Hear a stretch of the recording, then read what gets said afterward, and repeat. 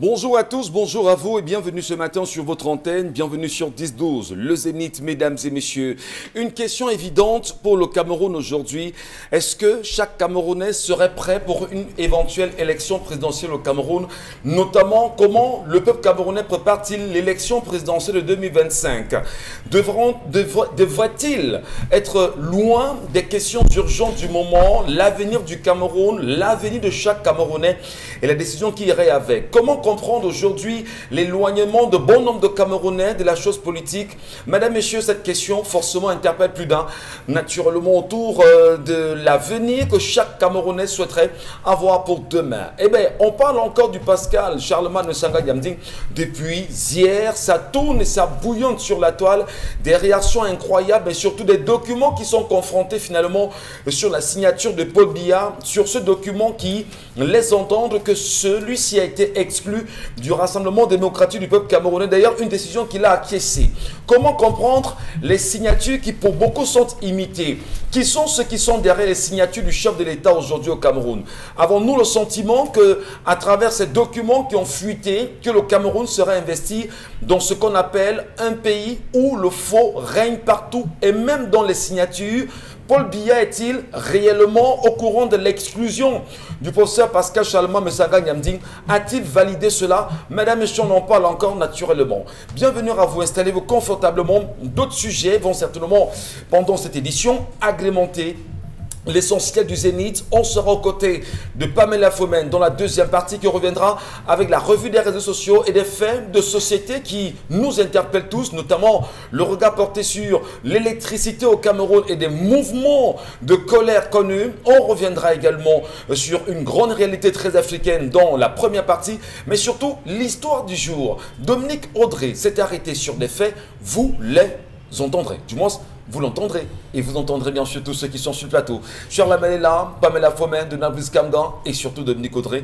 Bonjour à tous et à chacun et merci de nous retrouver. Mmh, il faut dire que euh, les gens prennent très très très très très mal euh, le fait qu'on évoque certains sujets. Bonjour Michel Gatchou. Bonjour madame. Bonjour aux téléspectateurs. Il y en a qui le prennent personnellement et malheureusement c'est à tort parce que jusqu'ici ce sont des idées des analyses et des hypothèses qui sont émises. Rien de personnel. Je crois que pour qu'on puisse tous avancer dans le bon sens, il faut avoir du recul dans les différentes prises de position. Voilà. Euh, il parle de la, elle parle de la fête Thierry Pat.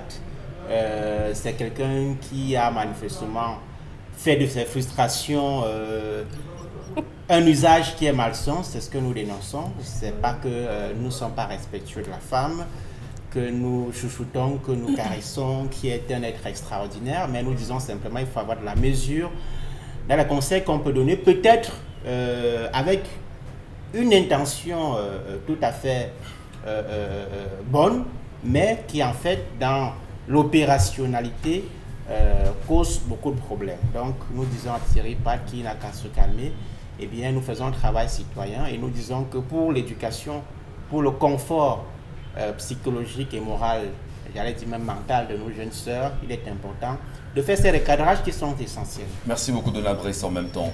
Et eh bien, peut-être euh, la petite virgule également, on, est dans des analyses. Hein, et quand on on n'a pas fait une fixation sur le code Pat précisément. Non, nous ne nous défendons pas. Nous disons que c'est un travail On n'a pas fait une fixation sur sa personne. Non, il est un problème de, de, Enfin. Oui, il y a un problème de salubrité publique, de moralité publique, avec ces sorties qui déstructurent euh, au plan mental nos, jeunes soeurs. Cela étant dit, je voudrais dire que les Camerounais ont beaucoup de problèmes. Moi, j'ai été euh, impressionné hier de voir euh, comment les gens traversent la route. Vous voyez qu'ils traversent la route, ça regarder ni à gauche ni à droite. j'ai l'impression que les gens ont tellement de problèmes que parfois même la mort ne leur dit rien. Ouais, c'est dangereux. Les gens marchent en route, tu as l'impression qu'ils parlent seuls ce problème, est ce pays est devenu euh, très, très, très, très dangereux. Voilà. Pamela Fomet, bonjour. Bonjour Michel, bonjour à nos millions de téléspectateurs. Je vais juste te dire quelque chose sur les propos de Donald. À l'école, on nous disait que pour traverser la route, il faut regarder à gauche et à droite. Mais je vous promets qu'au Carrefour de Cochi, ce n'est pas, pas possible. De ce côté-là. Donc, on, avance. On avance. Comment on peut avancer mais, mais Dominique ne nous a pas dit justement qu'elle a failli être emportée hier par un véhicule. Vous nous le disiez lors de la préparation de l'émission. Peut-être c'est l'occasion aussi de sensibiliser. Hein. Oui, je m'adresse au promoteur de cette agence qui est certainement situé euh, dans euh, la localité de Bessengue. Franchement, monsieur, il faut faire attention aux gens que vous mettez sur la route pour transporter les citoyens. Oui, voyage. Parce qu'il est, euh, non, il est marqué sur le, sur le bus, huit voyages. Oui. 8 bus voyage. Oui, bus voyage. Oui, je ne vais pas donner l'immatriculation, c'est le bus de 13 heures en, en direction de de l'Ouest Cameroun sur le tronçon Bonabéry, Bomono, euh, euh, Ouest là-bas. À trois reprises, le monsieur a failli m'envoyer au champ. Et je crois qu'il faut avoir un minimum de tact lorsqu'on utilise la route. Vous ne pouvez pas faire des, dépassements aussi, aussi hasardeux. On ne, on ne, dépasse pas au tournant. Et même si vous voulez dépasser, vous n'envoyez pas la personne que vous dépassez au champ. Un peu, un peu, de, un peu, de, un peu de retenue, je vous en prie. Même si ce n'est pas pour la personne que vous voulez dépasser, mais un peu de respect pour les personnes que vous transportez dans votre bus. Parce que votre manque de tact et votre manque, je ne vais pas dire d'intelligence, mais votre manque de lucidité peut créer, peut causer des d'autres accidents, franchement. Plus de peur que de mal, vous êtes à nos côtés. Grâce, à la, grâce à la Providence. L'essentiel est que vous soyez là et euh, que le message soit passé à huit bus voyage afin que des recadrages et des euh, séminaires, hein, je sais pas, de, de, euh, de recyclage. recyclages justement soient faits en interne. Merci beaucoup Dominique Audrey. Et c'est pas seulement pour cette agence, mais pour toutes les agences de voyage du Cameroun aujourd'hui. Charles Amel Badjou, bon jeudi, cher monsieur. Bonjour Monsieur Michel, bonjour à tous les téléspectateurs. Voilà, visiblement très fatigué ce matin. On sait en même temps que euh, vous êtes là très tôt le matin, entre 6h et 9h, au cœur de la matinale radio avec Eric Fopoussi. Et vous nous retrouvez naturellement ici. Merci de partager cette tranche d'antenne avec nous, madame, messieurs. C'est ça aussi, bah, un peu comme nous. Lorsqu'il est 18h, nous sommes également à la radio avec euh, la grande famille, Sanke le mannequin, Troncanda le magnifique, Haribel Berlis, euh, ben, toute cette famille-là. Voilà, Luis Pego et tout ça. Mhm. Vite ton sac, vraiment, merci. Nous, nous poursuivons. Qu'est-ce qui s'est passé de Dominique Audrey? Les téléspectateurs sont très attentifs de ce que vous leur amènerez ce mhm. matin comme histoire du jour. Ce matin, c'est une Camerounaise âgée de 35 ans par là qui a besoin d'aide, elle a besoin de solutions, elle a besoin de réponses parce qu'il faudrait qu'elle se décide impérativement sur l'orientation qu'elle va donner à sa vie désormais. Je suis une femme âgée de 35 ans, je suis mère de 6 enfants, je suis mariée depuis 13 ans et rendez-vous compte que mon mari a intégré une secte, ça fait 7 ans, ayant pour parrain son oncle avec qui il travaille dans la même société dans un pays à l'étranger. Au début, j'ai constaté que mon mari était confronté à des situations compliquées. J'ai euh, interpellé ma belle-mère à ce sujet et elle m'a répondu sèchement que je ne devrais plus interroger la richesse de son fils. J'ai expliqué la situation à mes parents et après des enquêtes, on a allé voir plusieurs personnes. Ils m'ont effectivement compliqué que mon mari avait trempé. Et euh, depuis, il fait face à une condition compliquée parce qu'il fallait qu'il donne quelqu'un. Mes parents, de leur côté, ont décidé d'aller nous faire protéger les enfants et moi. Et à cette époque, j'étais simplement à trois enfants. Nous résidons dans ce pays où mon mari travaille et à chaque fois que je veux accoucher, je viens au Cameroun. Je vis chez mon beau-père. Ma belle-mère, de son côté, elle vit dans une autre ville du Cameroun, à Bertois. Et l'une des maisons que mon mari a laissées euh, abrite son père. C'est là que je Dès que mon mari a intégré ce milieu, il ne décroche, dès le moment où il est entré dans ce milieu, il ne décrochait plus les appels de mes parents. Je suis, par exemple, à quelques mois, je viens de donner naissance à mon, à mon sixième enfant, ça fait quelques mois, et c'est la troisième fois que je viens au Cameroun pour pouvoir accoucher. Lorsque j'ai informé ma belle-mère de ce que j'étais là pour accoucher, elle n'est pas venue me voir, mais quelques jours après mon accouchement, elle, est, elle a débarqué à la maison avec une autre femme qui s'est présentée comme étant la deuxième épouse de mon mari, Madame Oyengelek. Il fut une fois, j'ai fouillé le téléphone de mon mari et j'ai vu des choses inexplicables. Rendez-vous compte que celui-ci met plusieurs femmes enceintes et après, les grossesses disparaissent. Il leur donne de fortes sommes d'argent. J'ai transféré même certaines preuves. J'ai essayé de sauvegarder les preuves et tout. Et comme par enchantement, mon téléphone s'est grillé. Tous les argents que je reçois de mon mari, je le transfère d'abord à mon père qui me le renvoie quelques temps après. Et je ne sais pas, je voulais demander le divorce, mais mon père m'a dit que ce n'est pas la solution. Mon mari me dit, euh, en plus de cette appartenance à des trucs compliqués, il multiplie également les infidélités. En 13 mois, je n'ai eu que trois voyages avec mon mari. Euh, et, mon mari m'a dit au téléphone que la, prochaine fois, ce sera encore plus long. Rendez-vous compte qu'aujourd'hui, j'ai un réseau pour pouvoir euh, m'expatrier définitivement. Je ne sais pas comment faire pour convaincre mes parents, surtout mon père, de me laisser partir parce que mon père me dit que je ne devrais pas quitter ce mariage, je, devrais rester là, que même si mon mari n'est pas là, il va s'occuper de ses six enfants. Ma mère, de son côté, ne peut rien dire lorsque mon père a déjà euh, euh, parlé. À la question de savoir qu'est-ce que votre mari fait qu'il puisse vous pousser à croire qu'il soit dans les trucs compliqués. Elle dit à chaque fois qu'elle a ses ragnagnas, son mari veut impérativement avoir euh, partagé son intimité à ce moment précis autant, autant de choses. Elle m'a envoyé des images avec des trucs qu'on ne va pas diffuser à l'antenne. Donc voilà, elle aimerait avoir la bénédiction, dit-elle, de ses parents pour pouvoir mettre un terme à, voilà. Mais il faut simplement préciser que sur le plateau, euh, nous ne sommes pas des solutions, nous exposons des problèmes. Et pour ceux qui euh, trouvent... Euh, juste de donner ou de prodiguer des conseils qui vont avec. Mhm. Voilà, c'est ce que nous faisons. Et d'ailleurs, sur la page Facebook, pour ceux qui nous lisent également en direct, euh, ça se dispute véritablement mhm. là-bas. Merci beaucoup, Dominique. et sur le plan mystique, elle aimerait savoir si elle est exposée en le quittant. En tout cas, il n'y a pas de, il n'y a pas de, il a pas, de, je sais pas sur le plateau, je pense pas qu'il y ait des personnes qui soient euh, dans des choses, euh, c'est compliqué, mais on, va, on va essayer de, débattre, on va essayer, d'en mhm. parler. En tout cas, on ne sait pas si parmi vous, des femmes, justement, ce matin, qui traversent de telles réalités. Peut-être aussi, qui ne parviennent pas à briser, on va dire, euh, à, dire exactement ce qu'elles pensent. Celle-ci a brisé le silence et elle s'est fait entendre, naturellement. Il est important aussi de dire qu'il y a le confort dans lequel elle se trouve. Qu'est-ce qui peut bien l'empêcher de la Kangan, à votre avis, de quitter cette relation au moment où elle estime qu'elle est en danger? Alors, elle est partie, euh, ça fait combien d'années de mariage? 13 ans. 13 ans de mariage. 6 enfants. Je pense qu'on se marie pour être en sécurité. Je pense qu'on se marie pour être euh, serein. Je pense qu'on se marie pour se parler, pour se comprendre. Euh, je ne suis pas sûr que c'est tout récemment qu'elle a découvert ces pratiques bizarres. Alors, il y a un problème de sécurité personnelle de cette femme. Euh, je ne sais pas pourquoi elle est embarrassée parce que moi, je vois une femme qui est inquiète, qui est déstabilisée et euh, qui se demande quel sera son avenir dans ce foyer. Dès que vous posez cette question, ces questions auxquelles manifestement il n'aura pas de réponse rassurante, puisque là nous sommes dans un, dans un cycle, on va dire, infernal. Lorsque vous mettez avec quelqu'un, chère dame, il faut toujours vous renseigner sur les origines de sa fortune. Il a quel salaire à peu près?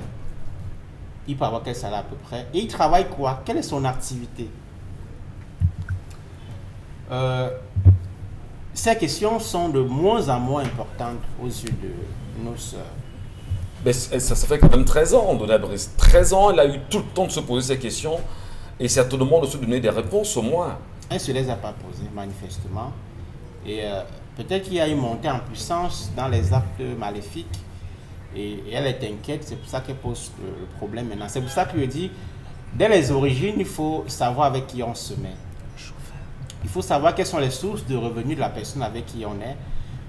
C'est important. Si vous estimez que ce n'est pas quelque chose d'essentiel, vous enfoncez dans un mariage où vous avez euh, tout à la maison, véhicule euh, à votre disposition, chauffeur, vigile, tout ce que vous voulez, sauf le bonheur.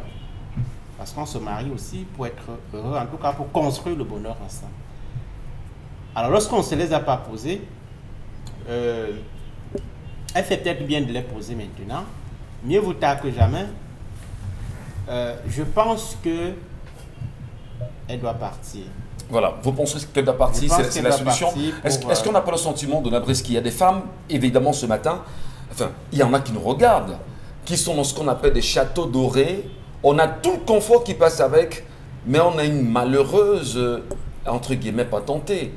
Qu'est-ce qu'on fait Qu'est-ce qu'on dit Et c'est pour ça que... Comment se déconnecter Ça questionne justement les valeurs sur lesquelles se fonde le mariage ou les relations humaines, notamment les relations charnelles aujourd'hui. C'est-à-dire que les gens se mettent avec les gens parce qu'ils sont fortunés, parce qu'ils ont beaucoup d'argent, ainsi.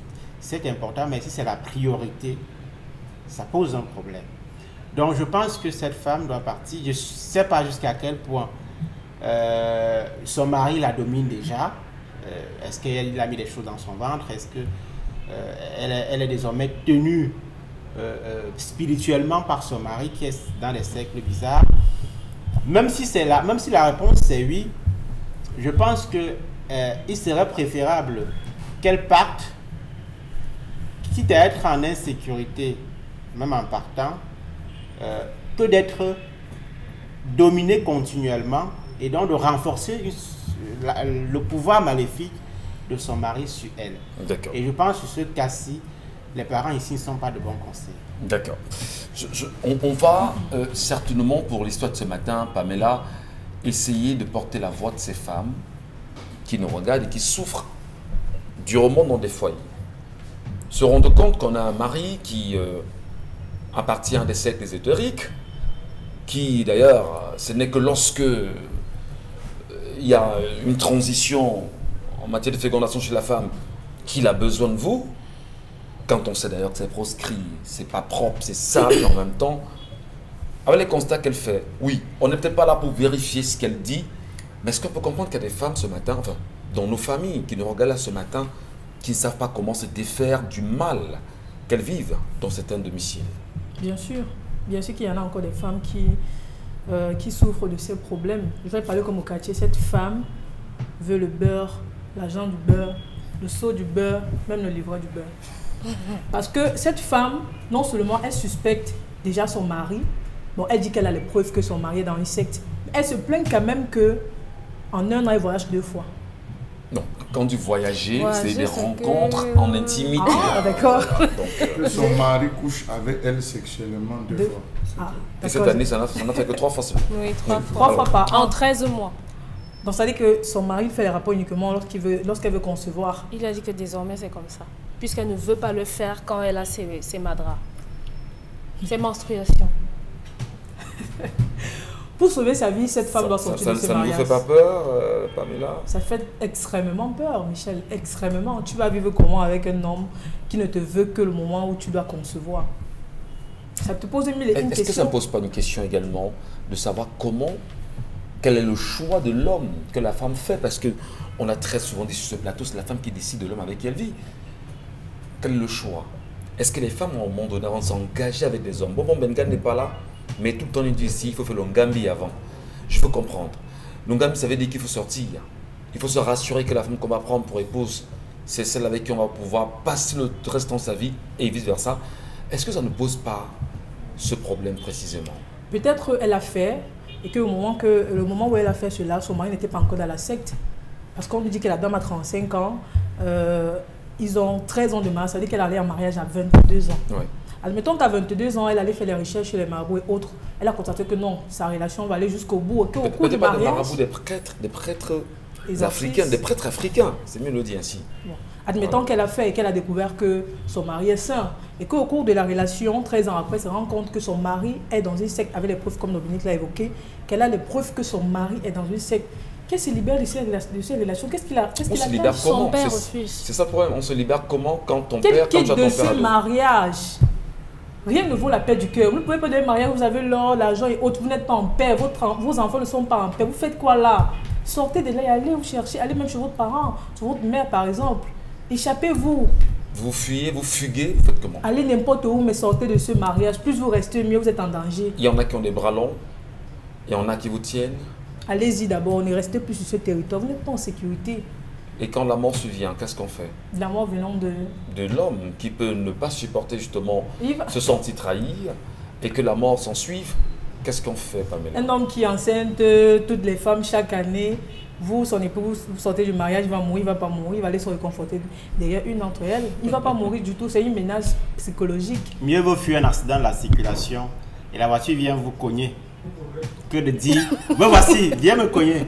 N'est-ce pas? Oui, c'est mieux. D'accord. C'est mieux. On va, on va essayer justement de prendre les avis des téléspectateurs ce matin. Et c'est peut-être bien d'avoir quelquefois des témoignages. Mais en, en- vraiment réduire l'écriture pour qu'on puisse mieux comprendre comment est-ce qu'on peut sauver ces femmes. Elles sont nombreuses à nous regarder ce matin. Elles se disent, bah, j'ai un confort, j'ai tout, j'ai l'homme, il n'est jamais là. Et il faudra en même temps que je parvienne à me dissocier de ce que je traverse ici. Charles Amel Mathieu, je me retourne vers vous vraiment, cher monsieur. Au regard de la situation, de l'histoire, quel conseil prodiguez-vous? Il faut d'abord dire que tout homme qui entre dans un cercle ésotérique n'entre pas seul. Il inscrit les membres de sa famille, il inscrit sa femme. Qu'elle le veuille ou non, elle est dedans. Deuxième chose, il y a des rituels qu'on fait avec la femme. Parfois, elle ne sait pas. Et on fait des rituels avec la femme. Aujourd'hui, quand vous voyez, vous, entre les amoureux, les occidentalisés, l'homme mange, il met dans la bouche de sa femme. Vous appelez ça quoi? Ndolo. de, Vous appelez ça le ndolo? Mamours. Je mange, je mets dans la bouche de la femme. Mais vous savez, c'est un rituel terrible. C'est un rituel terrible. Il y a un ensemble de rituels ésotériques qui ont été adoptés par des gens sous le, la fallacieuse appellation amour. Comment charme-t-on une femme? Comment charme-t-on un homme? Donc, cette femme a participé à des rituels. Qu'elle le veuille ou non, elle a participé à des rituels. La preuve, commencé à faire l'amour avec ce monsieur pendant qu'elle saignait. Et cela obéissait à un rituel assez précis que je ne pouvais dé- je ne peux dévoiler ici. Elle a déjà participé à des rituels. Elle décide de se lever en disant je m'en vais. Est-ce que le simple fait de dire je pars va la libérer de l'ensemble des choses qu'elle aura faites? Question. Vous arrivez parfois dans des cérémonies, vous vous rendez compte qu'il y a un type de vin que certaines personnes boivent et on ne vous permet pas de vous approcher de cette table. On va évoquer les 30 ans, les 40 ans, allez savoir de quel type de vin les gens parlent. Elle est sortie, elle a assisté à des cérémonies. On organise des cérémonies de beuverie. Vous arrivez pensant que c'est un rituel où tout le monde doit... C'est une fête, il célèbre son milliard, comme on dit, on trouve un faux prétexte. Pendant que vous êtes en train de vous amuser, on est en train de procéder à un rituel. C'est un peu ce qui se passait à une certaine période dans les boîtes de nuit où lorsqu'on arrivait, des gens entraient, ils farotaient. On demandait expressément qu'on coupe le climatiseur. On farotait le DJ, il mettait des musiques pour faire transpirer. La somme des sueurs qui montait, il y avait une personne dont le rôle était d'aspirer. Bon, ça, il faut le préciser, d'aspirer ces énergies. Ce sont des énergies que vous dégagez. Cette femme a participé à une succession de rituels. Elle s'est engluée. Il y a des choses qu'elle connaît, qu'elle a intégrées. Elle dit enceinte des femmes, après il aspire. Nous avons connu cela pendant longtemps. Est-ce que le dire justement sur la messe, c'est que Ça existe. Elle, a- elle a, elle a validé. Ça existe ici à Douala. Oui, elle sait. Il y a des choses qu'elle connaît. Elle plutôt- n'a pas dit toute la vérité. Il y a des choses qu'elle connaît. Profondément, elle a découvert plein de choses. Et lorsque vous découvrez un type de choses, soit on vous tue, soit on vous maintient parce que vous savez garder le silence et parce que vous êtes lié. Soit parce que le membre avec lequel nous sommes est un membre influent. J'emploie les expressions. On décide de sursoir en attendant qu'elle divulgue pour devenir soit folle, perdre la, perdre la mémoire. On a, il y a toutes des méthodes pour la ramener à cela. Donc, elle maîtrise un ensemble de choses sur les réalités de la vie de son mari. Ça existe ici à Douala, où il y a plein d'hommes qui enceintent des filles trois mois après, la grossesse disparaît, la, femme, la fille perd. C'est plein à Douala. Je dis à Douala, c'est plein. Je ne parle pas des autres villes.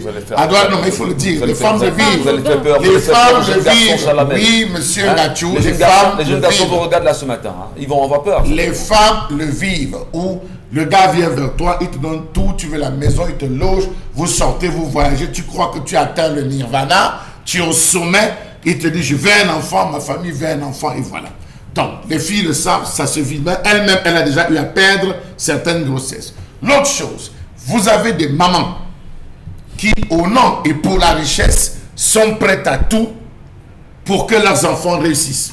On connaît des communautés où des mamans couchent avec leurs garçons pour qu'ils réussissent, il faut le dire. On faut entendu. le dire. On a entendu. Non, c'est des faits. On connaît des communautés où les mamans disent Maman, tu as vu comment tu as réussi? Je connais le réseau, je suis parti. Entre ici. Ça se dit, ça se sait. Allons dans cette centrale, là, on va vous raconter. Merci, maman. et on va vous indexer. Oui, les gars couchent avec leur maman. C'est connu. C'est fou, ça. Les gens ont traversé pour la richesse, les gens ont traversé le voile du normal. On a écarté la norme et normalisé les écarts dans ce pays. Donc vous vous rendez compte que cette affaire, la maman est le gourou. C'est la mère qui garde. Non, mais le, la le- mère- la qui demande à la fille de ne pas partir parce qu'elle veut forcément s'en aller, le père lui dit tu restes, tu vas tenir. Est-ce que le père se conforte lui aussi dans le confort? J'en viens, j'en viens, euh, j'en viens. euh. La mère du gars est le gourou.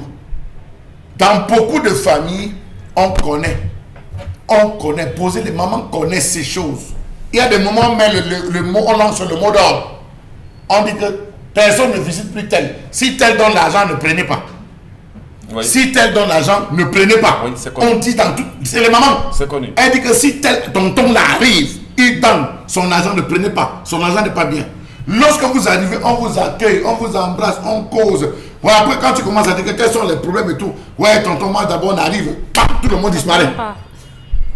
Il laisse l'argent à la mère, la mère laisse dire que voici ce qu'il a laissé, mais personne n'utilise cet argent. On prend l'argent, on emballe. Aujourd'hui, c'est au pasteur qu'on donne l'argent de gérer. À une certaine époque, on allait travailler. Donc, cette maman connaît. Le père de la fille connaît que sa fille est dans une nasse de crack. Il a peur pour elle, Il n'a pas peur. il la maintient. Il a créé un voile de protection sur sa fille en disant à sa fille, tu es plus ou tu es mieux gardé là qu'en étant Dehors. Maintenant, il sait qu'il a le droit de regard sur sa fille. Il veille mystiquement, traditionnellement sur sa fille en lançant des pics et des avertissements à l'homme en lui disant, quand ma fille va vouloir coucher, il dit à une fille à tel mois, déplace-toi, viens chez moi. Lorsque la fille arrive, il y a un circuit qu'on utilise, un voile mystique qu'on met sur la fille, il ne retrouve pas la fille. Je termine par le dernier point. Beaucoup d'hommes, après le mariage, demandent à la femme, à leur femme, ils récupèrent les alliances pour parfois aller nettoyer. Je parle des sectes. Ils vont dans, il y a un rituel où on va faire fondre les alliances, on redivise en ajoutant certaines substances, on remet à l'homme et à la femme. Qu'elle se rassure que son alliance n'a pas été codifiée mystiquement, quitte à ce que quel que soit le lieu où elle se retrouve, elle se retrouve à être frappée. Donc, cette femme est dans une nasse, qu'elle porte sa croix. Alors, Char- Char- euh, ça, ça fait très peur en même temps parce que euh, il y a une jeunesse qui vous regarde ce matin, qui nous regarde ce matin, qu'il faut bien sûr sauver. En faisant la jeunesse, justement, éviter tout ce qui est vie Ce facile. n'est même pas ça. Bah, bah, Vous, avez d'autres hommes qui, dans des filles, il y a beaucoup de filles ici qui sont des aspirateurs d'énergie. Ça veut dire, vous rencontrez la fille, vous avez des rapports sexuels avec cette fille, vous ressortez, d'après le rapport sexuel, après tout ce vous ressortez vidé. Voilà. Vous êtes fatigué, elle vous a sucé Absolument. et elle part reverser chez la personne qui se nourrit de cette énergie. Très bien. Donc, quand on dit que les femmes sont des réceptacles et des dangers, cette femme, il ne l'a pas épousée pour rien. En elle, il a trouvé quelque chose Alors. dont il se sert. Peut-être elle est porteuse de chance, ça fait justement très peur en même temps, Charles Hamel, lorsque vous parlez des femmes. On, on a appris il y a quelque temps qu'il y a une belle brochette de femmes euh, euh, africaines qui partent très souvent de l'Europe. Elles viennent en Afrique, elles vont avoir des petits garçons. Et ce qu'elles font justement, c'est vous vider. C'est-à-dire que vous allez une fois avec elle, elle, va, elle a vidé 10 ans de votre vie. Et pendant 10 ans, vous tournez en rond, vous dites, je ne marche pas, les choses ne marchent pas, ça ne marche pas chez moi. En fait, parce que vous allez accepter d'aller les femmes plus vieilles que vous. Elles, ont, elles ont une belle mission. Alors, Dominique Audrey, je, je voudrais rapidement, pour qu'on puisse sortir, qu'on se le dise, quel conseil à cette femme? Fuir Rester Comment se protéger? On a entendu des femmes parfois qui vous disent, euh, même à l'insu de mon mari, moi je suis sorti me battre. J'ai pris les mesures qui allaient avec. On vit. Est-ce que ce serait un conseil qui passerait pour vous? Non, pas de rester. Parce que la limite à ce que Charles Hamel dit, c'est comment est-ce qu'elle fera si son père décède? Est-ce que le voile ou bien la protection de son père va continuer d'avoir son effet si celui-ci décède? Parce que c'est l'une des questions qu'elle se pose. Oui. mon père me protège, oui, mon père est là en cas de, de souci, je viens toujours voir papa, mais si papa n'est pas là, comment est-ce que je vais faire pour m'en sortir? Donc, il y a, il y a, je crois qu'il y a des questions qui ne se posent pas. Si effectivement cette dame n'est au courant de rien, eh ben, qu'elle trouve les mots justes. Au final, moi je lui ai dit, votre, votre père, un père normal, ne peut pas laisser sa fille dans ce genre de choses, sachant qu'elle est dans une, dans une maison compliquée. Alors, lorsque, lorsque Charlamel précise d'ailleurs que le père aurait constaté que ce serait mieux de rester là-bas qu'être à l'extérieur, ça suppose qu'il y a un ensemble de choses qui amène le père à lui dire reste-y que de sortir parce que là, le danger n'est pas loin. Oui, peut-être. Bah, sauf qu'il peut également la protéger et lui donner la possibilité de partir. Parce que si vous me dites que vous me protégez en me gardant dans la maison d'un vampire ou bien d'un homme violent ou bien d'un homme sorcier, moi, je, ça n'a pas de sens. Alors que vous, pouvez me vous protéger. Que vous mariez dans des choses compliquées, vous faites comment? Vous, vous partez, non? Qu'est-ce que moi j'ai à lui dire? Qu'est-ce que vous avez déjà ingurgité de l'intérieur? Ok, j'ai peut-être ingurgité des choses, mais maintenant je trouve comment faire pour faire une désintoxication, mais je ne reste plus là pour continuer d'ingurgiter les choses. Parce que chaque fois que je vais aller euh, au lit avec lui, il y aura des choses qu'il va me faire. Chaque fois qu'il va donner peut-être à manger à mon enfant, ou bien il va ramener un gâteau, c'est certainement quelque chose de nocif, de toxique, ou je sais pas trop quoi, qu'il va donner à mon enfant. Et il n'est pas question que je continue là parce que euh, euh, mon père m'a protégé. Et si lui, de son côté, il part doubler encore la dose de son junju, je fais comment? Non, il faut partir. Vraiment, il, faut partir. Et maintenant, il faut dire qu'aujourd'hui, beaucoup de jeunes hommes se retrouvent dans ce genre de choses parce qu'ils ont des femmes derrière qui les poussent à entrer dans des trucs compliqués. Tellement ils ont des envies démesurées tellement elles ont, des attentes euh, qui, que la réalité de ces hommes ne peut pas euh, assouvir. Ils se retrouvent à entrer dans des tontines, les, réunions bizarres, les pratiques bizarres, les porte-monnaies magiques, parce qu'il faut contenter la fille.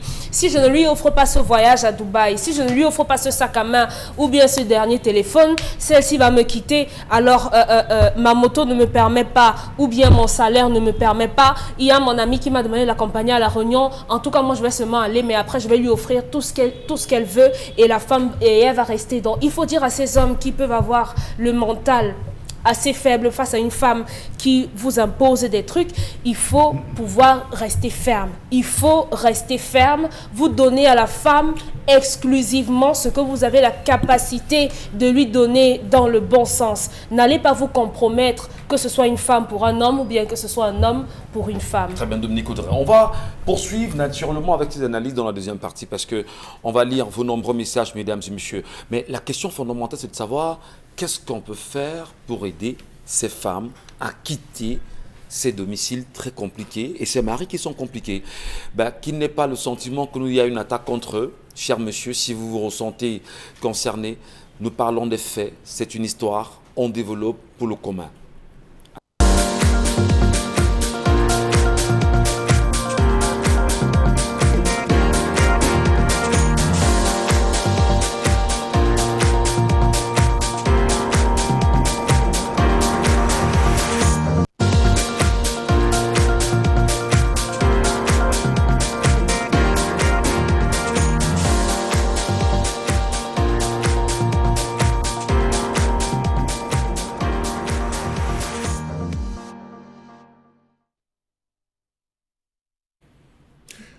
Je m'interroge ce jour sur la question des tripatouillages observés désormais dans la désignation des chefs traditionnels dans ce pays. Comment comprendre toutes ces crises qui secouent 162 chefferies traditionnelles au Cameroun? 162 chefferies traditionnelles où certaines lassent de voir les problèmes tourner au tribunal ou dans les tribunaux se retrouvent à baisser les bras ou alors face à la puissance écrasante de certaines élites se retrouvent à ramper. Comment comprendre toutes ces crises qui se soldent parfois par des non-lieux? Chefferie Bangam, Tout récemment, la chefferie Balengou, Dieu merci, le vent est passé, pousse dans le département du Mayo d'Anaï et Combitier dans le sud. Bangou, tout récemment, et le canton Aqua qui s'inscrit dans cette même logique tout récemment. Comment comprendre désormais la confusion et le désordre qui règnent dans les chefferies traditionnelles dans ce pays Non-respect des prescriptions traditionnelles légales sur le mode de désignation, implication d'acteurs non concernés sont entre autres les raisons qui expliquent les blocages rencontrés ça et là. La parole n'est plus donnée aux notables parce que les élites sont de grands notables. On a créé dans la hiérarchie traditionnelle une classe de notables exceptionnels qui décident sur tout sans toutefois respecter la lignée dans l'ensemble des cantons, chefferies traditionnelles. Pour un peu qu'on ait de l'argent, on est autorisé à entrer dans le sacro-saint lieu d'initiation. Qui est vrai chef et qui ne l'est pas dans un contexte où désormais ce n'est plus les initiés qui décident, mais plutôt les administrateurs civils, les élites et les affidés du pouvoir. Non, le RDPC ne doit pas perdre, on doit mettre quelqu'un qui respecte les idéaux du parti, même si le précédent appartenait à l'UNDP, même si le précédent appartenait à l'UPC, même si le précédent appartenait, non, il faudrait que partout ce soit le parti qui soit au devant. Lorsque ce ne sont pas les élites qui essayent de s'imposer à la tête d'une chefferie, on assiste à des blocages sur la désignation des chefs traditionnels. Pourtant, les dispositions organisant le choix des chefs sont assez claires, notamment celle du décret du 15 juin 1977 portant organisation des chefferies traditionnelles. L'article 8 de ce texte indique notamment que les chefs traditionnels sont en principe choisis au sein des familles appelées à exercer coutumièrement le commandement traditionnel. Peut-on conclure que ceux choisis sont à mesure de pouvoir garantir l'unité de leur peuple à ce jour. Comment comprendre qu'on n'a pas intégré les réalités traditionnelles de non-succession Question. Sont-ils encore les véritables garants de la tradition à eux léguée par les ancêtres? Quel est le rôle joué par eux dans le processus de préservation et de consolidation de l'intégration nationale? Y a-t-il réciprocité dans les relations qui les lient avec leur population? Lorsqu'on a vu il n'y a pas longtemps un chef nouvellement installé aller célébrer littéralement la victoire ou sa toute première sortie dans une autre zone, très loin du cœur de son royaume, aller célébrer ailleurs, aller célébrer cette fête que personne n'a compris d'ailleurs, dont il n'a été accompagné par aucun des notables. Comment comprendre que les règles de succession dans les traditions ne soient pas respectées?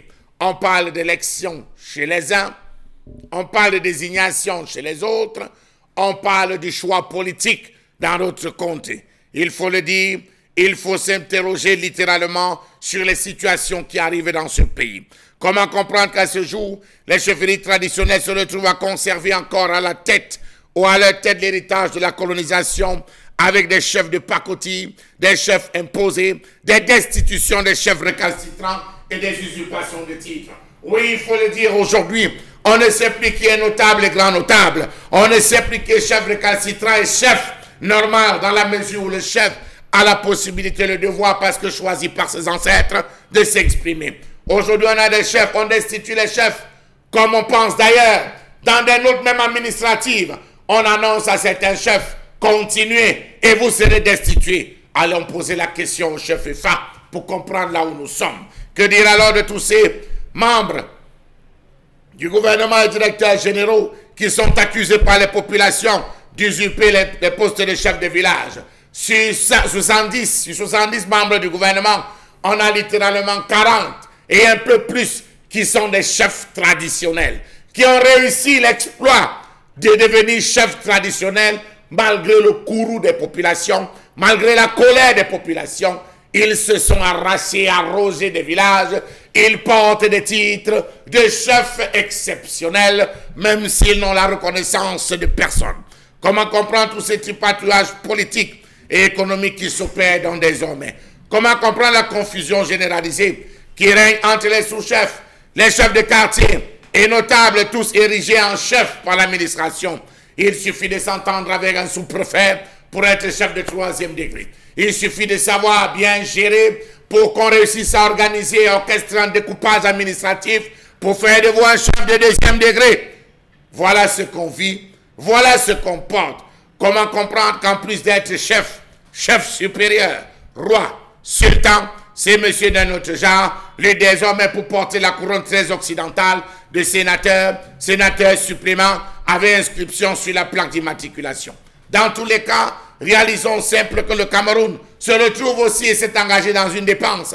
Peut-être la faute aux chefs qui, parce que gloutons, ont accepté de percevoir cet argent. Il faut dire que les chefferies sont devenus les entres de motions de soutien, de déférence et de remerciements dirigés ou rédigés par des élites tenant absolument à conserver leur poste ministériel. Comment comprendre ces dépenses énormes de l'État dans la rémunération des chefs traditionnels? Petit calcul, le Cameroun compte 80 chefferies de premier degré, ce qui fait par mois une dépense de 16 millions. Petit calcul, le Cameroun compte 862 chefferies de second degré, ce qui fait 86 millions 200 000 francs en termes de dépenses. Je vous épargne les chefferies de troisième degré parce qu'à l'heure où je vous parle, on est en train d'en créer. Il se crée chaque jour. Il suffit d'avoir un peu d'argent. Donc préparons-nous à vivre désormais, parce que créé par l'administration, organisé par l'administration, de nouvelles chefferies et de nouveaux chefs qui ne respectent même pas la lignée. Bravo. Une colère exprimée ce matin. Charles Amel Mbachou, merci infiniment. On va bien sûr le rappeler que c'est une colère qui va nous renvoyer forcément au fait historique, hein, à l'histoire du, des chefferies traditionnelles. Je n'ai pas spécifié de chefferie, j'ai pris dans un sens. Donc, je ne pas des chefferies dans la globalité. Ah, hein. Merci. Voilà. Donc, euh, mais surtout, surtout, Charles Amel, la guerre qui existe entre l'Occident et l'Afrique. La guerre, justement. L'administration, surtout. Oui, les qui a décidé de faire. Les idéologies, en fait. C'est-à-dire, quand on parle, bien évidemment, de ce qu'on a bien appelé la pénétration du continent africain, il fallait trouver des voies et moyens pour assujettir les peuples africains en passant par les autorités traditionnelles. Alors, on le rappelle tout le temps sur ce plateau que la République hein, euh, est venue juste après les royaumes, parce que nous, on connaissait des royaumes. Et la petite précision à faire, bien évidemment, c'est que dans le cas du Cameroun, dans le nord, on connaît ce qu'on appelle les grands lamidas. D'ailleurs, euh, on, a également à l'ouest Cameroun ce qu'on appelle les grands landes. On a dans le sud, le centre et l'est les chefferies patriarcales, des pouvoirs d'arbitrage entre individus. Et voilà également les, types de chefferies que nous avions au Cameroun. Mais maintenant, l'implication de l'administration pose un problème de Nabris Kamgan. Nos chefs traditionnels et même supérieurs sont considérés comme étant des auxiliaires d'administration. On va partir sur la loi, je pense bien de 1977, euh, qui euh, régit bien évidemment. C'est un décret d'ailleurs qui, qui, régit bien évidemment l'organisation administrative à ce niveau-là. Lorsqu'on est auxiliaire d'administration en qualité de chef supérieur des communautés, finalement, quelle est la place des chefferies traditionnelles chez nous? Les conflits, et, euh, les conflits auxquels Charles Amel fait allusion ce matin ont une source historique euh, que vous avez commencé à situer. nous sommes dans les années 70, après les indépendances et les mouvements de contestation sociale portés notamment par l'UPC sont très forts et il faut donc, parce qu'à l'époque, il y a une bonne organisation des chefferies traditionnelles dans les Grassfields, vous l'avez dit, dans, euh, mais également chez les peuples de la forêt, le sud, l'est et le centre, avec les clans.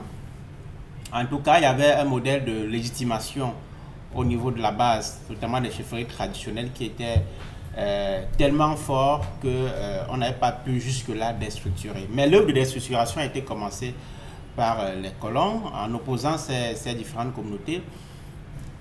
Elle va être poursuivie euh, après les indépendances. Vous voyez pourquoi intervient dans ce décret de, mhm. de, 77. de, juillet 77 qui porte l'organisation et fonctionnement des chefferies traditionnelles et font des chefferies traditionnelles, les chefs traditionnels, les auxiliaires de l'administration. Alors, pourquoi est-ce que cette, ce décret intervient à, ce moment-là? Eh bien, parce qu'il fallait.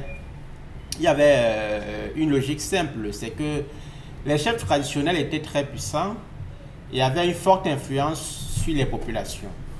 Or, à l'époque, il faut contrer la montée en puissance de l'UPC, l'Union des populations du Cameroun, avec notamment les maquis, puisque les chefs avaient euh, étaient suffisamment renseignés sur le territoire et pouvaient donc indiquer à l'armée coloniale, en tout cas à leurs serviteurs, malgré les indépendances, que tel maquis se trouve à tel endroit, tel autre se trouve à tel endroit, et donc faciliter donc la traque de ces maquis. C'est pour cela que euh, euh, dans, euh, autour de ces années-là, ceux qui se sont soumis à, cette logique-là ont été célébrés, et ceux qui ne sont pas soumis à cette logique de domination, d'extermination des chefferies traditionnelles ont connu trois sorts. Soit ils ont été tués, soit ils ont été jetés en prison, ou exilés. Soit ils ont choisi l'exil. C'est le cas, l'actualité nous le rappelle, de Sa Majesté euh, Martin Kemayou, qui est mort en Guinée en 1900. Paul Kemayou, qui est mort en, 1985 en Guinée, à Conakry. Voilà. Donc, euh, voilà la logique qui a présidé à cela. Vous aurez plus tard, euh, d'ailleurs, ceux qui n'ont pas soumis, qui ne sont pas soumis à cette logique-là, vous voyez, vous voyez très bien le sort qui, qui leur a été réservé.